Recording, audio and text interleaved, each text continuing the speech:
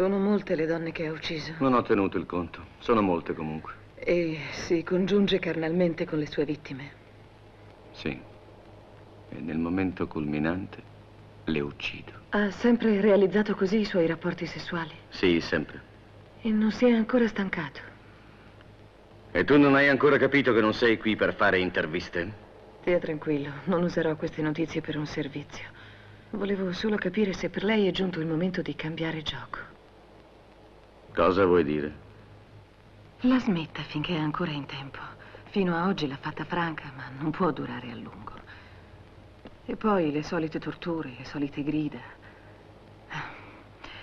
Anche le vittime, alla lunga, finiscono per assomigliare l'una all'altra. E il sangue è sempre solo sangue. Sono convinta che ormai lei non si diverte più. E se anche fosse vero, non ho alternative. Sì, invece, ci pensi bene. Lei è un uomo attraente, ricco ed è intelligente. Potrebbe avere tutte le donne che vuole. Con un minimo di corte riuscirebbe a conquistarne a centinaia. Poi si divertirebbe a farle spasimare, a farle soffrire, a farle piangere, magari anche a farle suicidare. Creda a me, non le occorre seviziare e uccidere per sfogare le sue voglie sadiche. Ci sono tecniche erotiche altrettanto piacevoli e assai meno rischiose. Interessante. Sì, certo. E un giorno scoprirà che una donna le piace in un modo nuovo, particolare, e diventerà la donna della sua vita. E lei sarà felice e guarito. Ah, tu vorresti guarirmi? Sì. Di piuttosto che vuoi salvare la pelle. No, voglio guarirla dalla sua malattia. Non ho paura di morire. Io credo nella reincarnazione. Dottrina indù o pitagorica? Indù. Interessante. Lei deve riuscire a guarire. Deve liberarsi dei suoi complessi e delle sue paure. Avere fiducia nella sua virilità.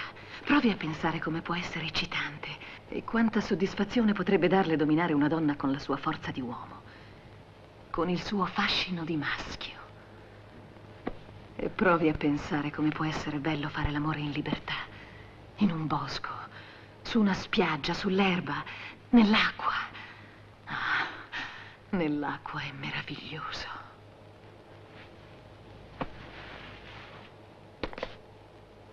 Quando cominciamo la cura? Anche adesso. È una notte d'estate. L'aria ha il profumo dei tigli. Oltre questo cancello c'è un parco deserto e buio. Io... io sto aspettando l'uomo che amo. Tremo un po' per l'emozione, sono così felice. Lui si avvicina e mi sorride. Sento già le sue braccia che mi stringono forte. Un dolce languore mi pervade tutta. Mi sembra di diventare piccola, leggera, come se il mio essere si annullasse interamente.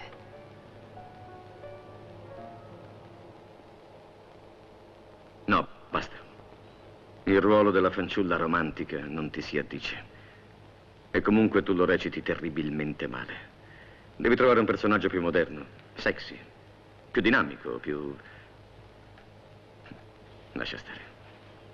Cerca di pensare invece a dopo la morte, adesso che ti sei così vicina.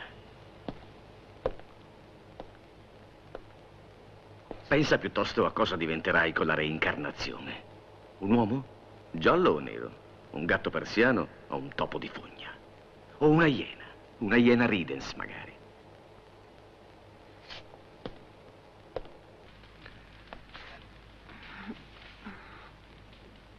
È tutto finito. Non ti farò più del male. Adesso dice così. E forse lo pensa davvero. Ma poi mi ucciderà come ha fatto con tutte le altre donne.